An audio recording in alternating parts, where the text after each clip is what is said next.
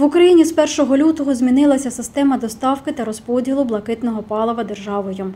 Тепер компанії націоналізуватимуть. А за прогнозами експертів, через кілька років не буде системи, за якою можна доставити газ споживачам, оскільки кошти за доставку газу не надходять на ремонт. Тож незабаром зміниться спосіб передачі показників та оплати за доставку та розподіл газу для мільйонів українців, пояснюють у Нафтогаз. Харківгаз та Дніпрогаз з 1 лютого перестали приймати показники лічильників газу у людей, а платити за доставку газу потрібно буде іншій компанії. Також платіжки за розподіл газу змінилися для всіх споживачів, оскільки для розрахунку вартості взято зовсім інший період з вересня 2021 року до квітня 2022 року. Тобто у тих, хто в цей період скоротив споживання газу, платіжки зменшаться, а хто споживав більше, збільшаться. Через деякий час обслуговування газотранспортної мережі перейде до Нафтогазу, а це означає, що передавати показники лічильників потрібно буде цій компанії.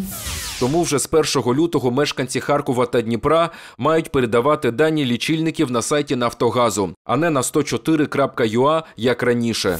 При цьому абонентам, у яких виникне переплата, обіцяють автоматично перенести її на новий рахунок. Таким чином, сервіс 104UA вже не прийматиме показання лічильників для клієнтів Харківської області. Мова йде про додаток особистий кабінет чат-боту Viber 7104. Також змінені телефони контакт-центру. З лютого показання можна передати за телефонами контакт-центру 066 300 2 888 098 300 2 888 093 300 2 888. Також показання можна передати через сайт gaz.ua або у будь-якій дільниці Харківгазу. Можна зареєструвати особистий кабінет на сайті gaz.ua.